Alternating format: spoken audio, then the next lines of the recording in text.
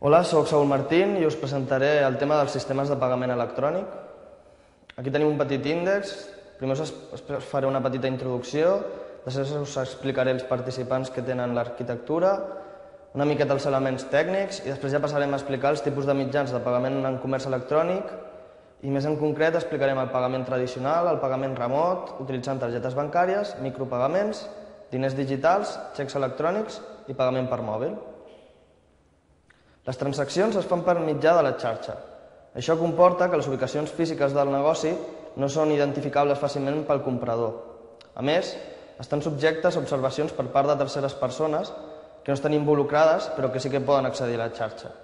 També, i per tal de crear una analogia amb, amb el comerç tradicional, s'ha de poder permetre la negociació i ha de ser una, una plataforma de baix cost que no afecti el preu de la compra. Finalment, s'ha de tindre en compte que l'ús d'ordinadors facilita l'enregistrament de dades, fet que pot comportar una vulneració de les dades personals o un frau econòmic, i per tant s'ha de garantir la privacitat en les transaccions. Aquí, com podem veure a la imatge, podem veure l'arquitectura que tenen els participants i podem veure que tenim el comprador, tenim el banc emissor, que és el banc del comprador, tenim el que és la botiga, allà on comprem, tenim el banc adquiridor, que és l'entitat financera de la botiga. Tenim la passarel·la del pagament, que en aquest cas serà internet i tindrà un servidor del banc eh, adquiridor per a gestionar el pagament. I per últim tenim una, una autoritat certificadora que és la que s'encarrega de validar la identitat dels participants. Tot sistema de pagament online ha d'atendre a quatre elements que el converteixen precisament en segurs i confiables. Aquests són privacitat, validació de la, identif de la identificació, que és l'autenticació, no repudi i control d'integritat. En quant a la privacitat, aquesta serveix per evitar que no, tercers no autoritzats tinguin accés a aquesta informació. El que és la validació de la identificació, és a dir, l'autentificació, el que fa és identificar les parts que duen a terme l'intercanvi d'informacions, missatges, comptes bancaris, etc. Després tenim el no repudi, aquest és el que identifica els usuaris comprovant les seves signatures digitals, és a dir, assegura la validesa de la signatura existent en un document electrònic. I per últim, el control d'integritat, que assegura que la informació tramesa a través de la xarxa de comunicació no es modifica al llarg del, del trajecte que ha recorregut pel canal. De sistemes de pagament n'hi ha d'infinits. Tenim NetBill, eGold, PayPal, Moneybookers, Mondex, alguns d'aquests ja estan obsolets, d'altres no van triomfar i van acabar, acabar en fallida. Pues bueno, aquí tenim tots els mitjans de pagament que, que tenim en el comerç electrònic. No els explicarem tots, però sí uns quants d'ells. Doncs tenim tradicionals, pagaments remots utilitzant targetes bancàries, micropagaments, diners digitals, xecs electrònics, les plataformes i models de convergència, que aquests no els explicarem, i després tenim el pagament per mòbil. El que és el pagament tradicional, tenim el contrarreemborsament, que és el venedor el que inicia el procés de cobrament quan el comprador rep la mercaderia. Després tenim el pagament per gir postal o, o telegràfic, que és el típic servei que ofereix el correu, i en aquest el comprador primer paga l'import i el venedor envia la mercaderia contra recepció. És un sistema simple i eficaç. Després tenim Western Union, que és un servei de pagament global mitjançant transferència dins de la seva pròpia xarxa. És un sistema molt simple i confiable i útil per a enviaments de no, de no gran valor.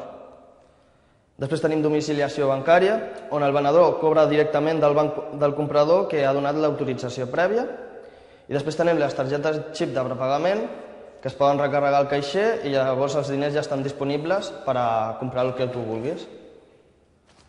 Pagament remot utilitzant targetes bancàries? Doncs, bueno, tenim una sèrie de protocols de seguretat i integració d'informació en pagaments online i aquests són els protocols que utilitzen TLS amb la seva arquitectura triangular, ja que l'arquitectura lineal va quedar obsoleta. Després tenim Secure eh, Socket Layer, tenim First Virtual, IKP, Cybercash, SET i 3D7. El 3D7 serà el que explicarem amb més detall a continuació perquè és un dels que més s'utilitzen. Eh, el protocol de set, com hem dit, és l'evolució de set i com podem veure a la figura, el model 3 de set cobreix diferents àrees d'un flux de transacció Visa i es basa en l'arquitectura anomenada dels tres domenis. Tenim el venedor i el seu banc, que és l'acquire domain, tenim el comprador i el seu banc, que és l'issuer domain, i tenim els dos bancs que estan involucrats, que és l'interoperability domain. Alguns exemples que tenim aquí del 3D7 són doncs, el PayPal, que és un sistema molt utilitzat a l'eBay, està situat en un servidor segur i no és un banc, i per tant no es regeix per les lleis que s'apliquen als bancs. El seu negoci recau en cobrar comissions en els cobraments.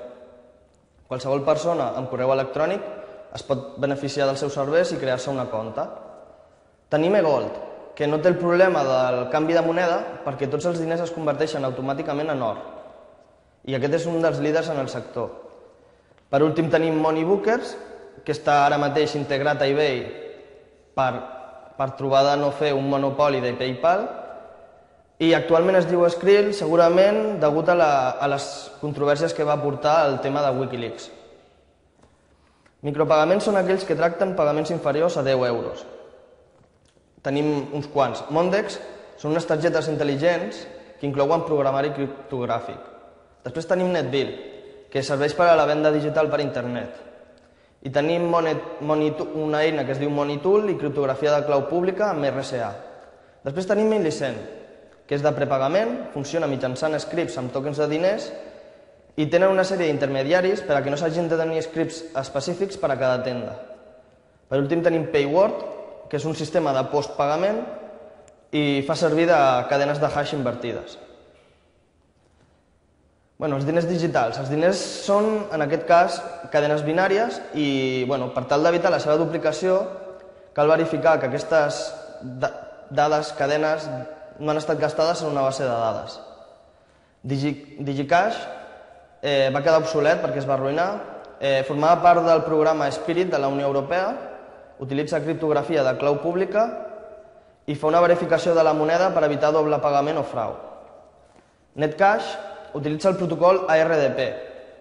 És un protocol de sol·licitud-resposta sobre UDP i té un avantatge sobre, eh, sobre el TCP, que és que no s'ha de eh, connexió i s'eviten capçaleres i overheads que el fan molt gran.